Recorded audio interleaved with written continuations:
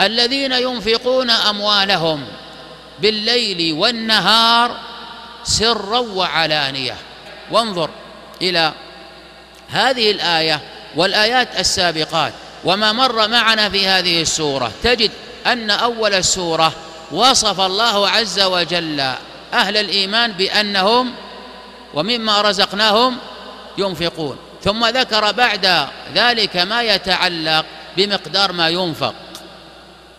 قل العفو وما يتعلق بمن ينفق عليه وبما يتعلق بالنفقة في سبيل الله وما يتعلق بالنفقة والصدقة وبها من وأذى وما يتعلق بالصدقة التي هي واجبة وما يتعلق بالصدقة صدقة العلم ومن يؤت الحكمة فقد أوتي خيرا كثيرا وما يتعلق بالصدقة قلت أم كبرت والنذر وما يتعلق به من أن الله عز وجل يعلمه وما يتعلق بحكم الصدقة من حيث الإظهار ومن حيث الإخفاء وما يتعلق بالصدقة على الكفار وما يتعلق بالصدقة على المجاهدين في سبيل الله أو الذين أحصروا في سبيل الله.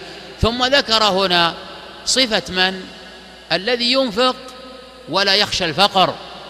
الذين ينفقون أموالهم بالليل والنهار سرا وعلانية.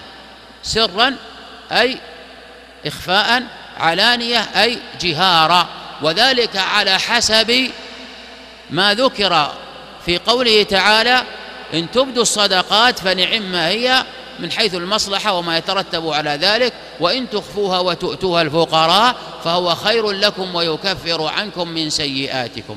وذكر النفقه هنا وذكر بينها ما يتعلق بالموت ما يتعلق بالموت مما ذكر عز وجل عن حال بني إسرائيل لما سألوا أن يبعث لهم ملك لكي يقاتلوا ثم قصة إبراهيم عليه السلام ثم قال في نهاية ما يتعلق بالموت والإحياء قصة إبراهيم وإذ قال إبراهيم رب أرني كيف تحيي الموتى. إلى أن قال بعدها مثل الذين ينفقون أموالهم في سبيل الله وليعلم أنه في قصة إبراهيم في آخر ما يتعلق بالموت من أن هذا هو الصنف الخامس المذكور في القرآن الذي أماته الله عز وجل ثم أحياه وهي تلك الطيور.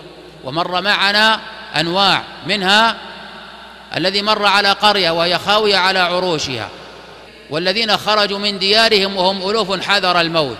وقصة القتيل لما أمروا بذبح البقرة وقصة قوم موسى لما قالوا لموسى أرنا الله جهرة.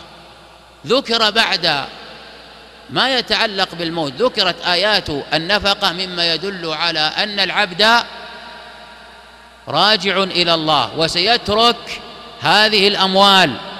وإذا ترك هذه الأموال فإنه إن لم يقدم في حياته فإنه يكون قد فرط. ولذلك في آخر السورة ماذا قال؟ لله ما في السماوات وما في الأرض.